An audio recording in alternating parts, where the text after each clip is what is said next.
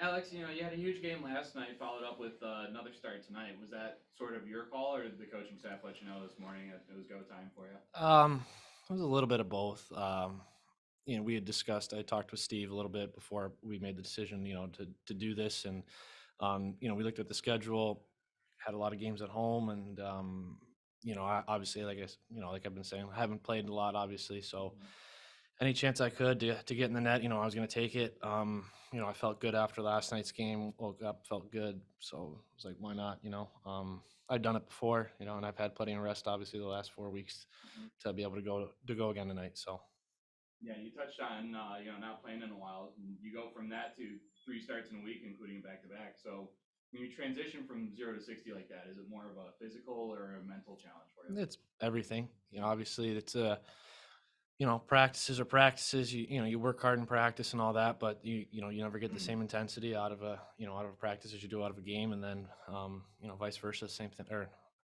same thing with you know the mental side of the game. Um, you know you're going to give up goals in practice. You face 200 shots or whatever it might be. You know, um, you know throughout the hour, hour and a half, and then now you face anywhere from 20 to 40 shots usually a night, and you know any one of them can go in, and any one of them could be the game winner. So the the mental pressure obviously is uh, you know is amped up. So a little bit of both.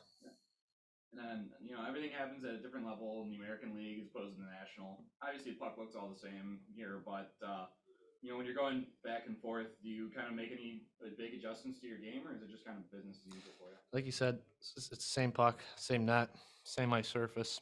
So just try to stop the puck. Um, you have a lot of young defensemen in front of you here in Grand Rapids that have only been here in North America for a couple of months. Um, when you got a young group like that, how does it change how you approach your game in the net? doesn't. You know, my job stays the same: stop the puck. Um, you know, they're young. They're you know they're gonna make some mistakes, uh, but that's how you learn. That's how you grow. Um, obviously, I was uh, in that same boat in my position. You know, my first couple years in the league too. So it's uh, you know, you're gonna make mistakes, but uh, I'd rather guys be be trying hard and, and working hard and, and making an effort type play and, and messing up than just kind of going through the motions and, and being afraid to make mistake.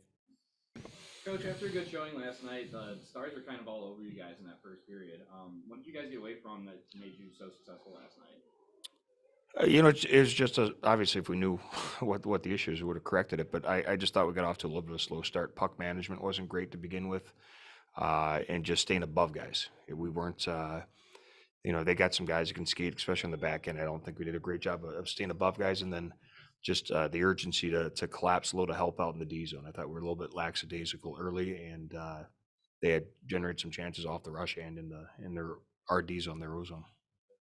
Ned goes from waiting the wings in Detroit to getting three games in a back to back in a week. Um, how's he handled himself in practice and in the locker room for you to give him that opportunity?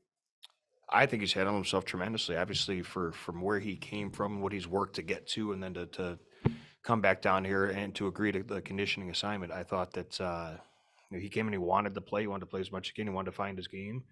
Uh, after the game last night, he came and we, we talked, and he, he wanted to play again tonight. And I think he deserved it. As long as he's, uh, you know, he has hasn't played three games in four nights in a long time, but uh, you know, as long as he's ready to go, uh, I think he's earned the, the opportunity to continue to play. For sure.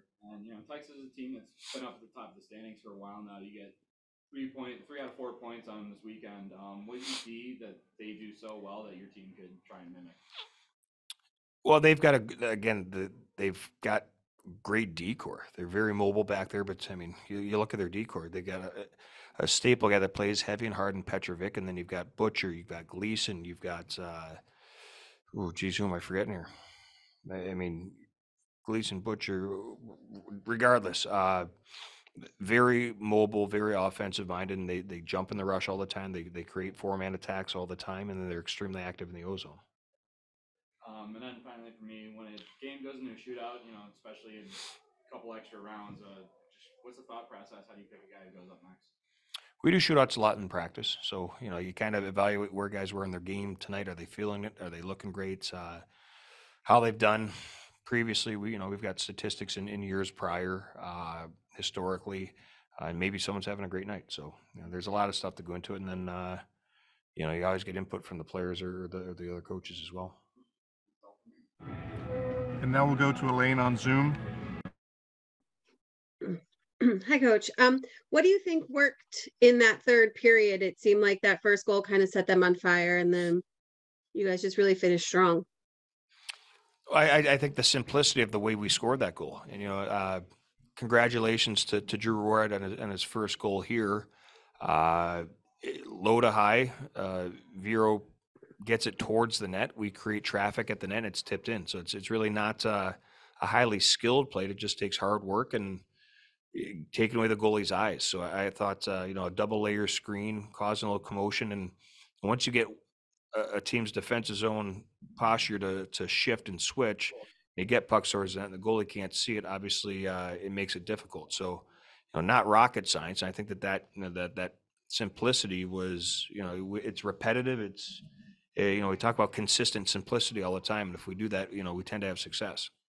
Yeah, no, um, a lot of hard work went into that second goal. Um, scored at a really incredible angle. Um, if you can kind of talk about just like the the work they put in, especially in the last like five minutes. Yeah, no, again, it's just that that I think speaks to hopefully the the corner that we're turning here, the determination of the group where you know we get down by two, we're, we're not going to panic too much. We have a belief in each other, and you know, the, one shot away. So I, I think that uh, obviously Taro, uh, great ship by him and his entire line. I actually didn't see the goal uh, initially because I was trying to figure out uh, who was going out for six on five there, but uh, have to save that game plan for a later day. um, and then just one more from me. Uh, special teams. They, I mean, they look good this weekend. Um, how do you think they did? Well, you know, I thought our power play struggled. Actually, obviously, we scored a goal at the end of a power play, and then uh, I, I don't think it was clicking on all cylinders this week. Um, I thought the PK was a lot more efficient than it has been in games prior, and you know, I think at the end of the day, your your goaltender is your best penalty killer, and I think that Neds did a really good job uh, on the PK. And that you know, the, the one we gave up tonight was a hell of a shot by uh, a guy that could shoot a puck. Yeah, perfect. That's it for me. Okay. That's it, Ben. Thank you very much.